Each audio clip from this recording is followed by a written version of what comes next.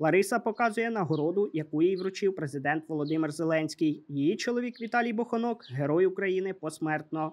Віталік ще був живий, коли на нього подали документи е, для того, щоб е, йому присвоїти звання Героя України. На жаль, він не дочекався цього. Згадує, вони зустрілися завдяки спільним знайомим в 2009 році. Я жила в одній кімнаті з його однокласницею.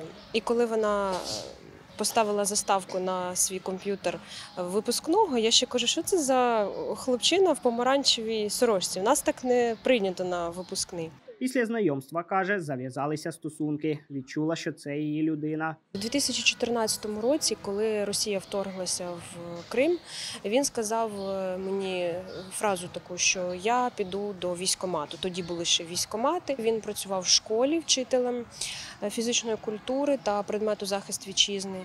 І за власним бажанням пішов, записався, хоч він був офіцером. Він закінчував ще ж військову В кафедру. травні 2014-го у складі 79-ї бригади був відправлений на Донеччину, каже жінка. Там потрапив в оточення, але йому з побратимами вдалося вийти. Згадує і момент, як в січні 2015-го, після втрати зв'язку з чоловіком, змогла йому додзвонитися. першу фразу, яку він мені каже, моя мрія збулась. А я просто в такому шоці, я не знаю, що казати, яка мрія. Я був в Донецькому аеропорту. Я пригадую, він мені казав, от я хочу потрапити в Донецький аеропорт. Тоді Віталій отримав своє перше поранення, розповідає Лариса, але водночас почалося його кар'єрне зростання, про що свідчать різноманітні нагороди. В один прекрасний момент якось він мені сказав, що пише рапорт на звільнення. Він не хоче служити. Прийшло це вигорання професійне. Але е, я його підтримувала вилазними розмовами, спілкувалися дуже довго. Потім його е, командира батальйону, його кращого товариша, його перевели в іншу бригаду. Він пішов заступником командира бригади. І Віталі довелось виконувати обов'язки тим, тимчасово.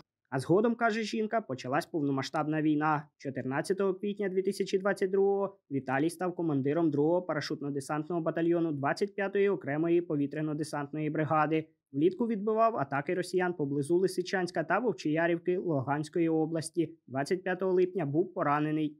Його привезли в Дніпро, евакуювали. Ми приїхали в той же вечір. Е, Поранення було дуже важке, плюс контузія, але він був при. Ми з ним говорили, він е, шукав своїх хлопців, називав всі позивні е, і питав за кожного з них. Йому було цікаво, чи вони всі живі. На жаль, на місці відразу загинув парамедик його. Згадує, як переживала ті дні. Віталій помер у госпіталі 29 липня. Мені захотілося дістати його блокнот з його сумки, улюбленої сумки. Я відкрила блокнот і почала писати. У блокноті я писала про те, щоб він згадував, як коли вже він буде лежати в загальній палаті,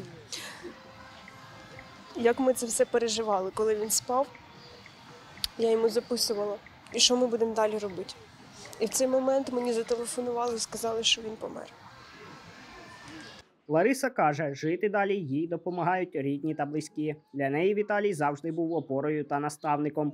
Впевнена, що про подвиг її чоловіка не забудуть. Назарій Рубаняк, Євген Мінаков, Суспільне новини, Миколаїв.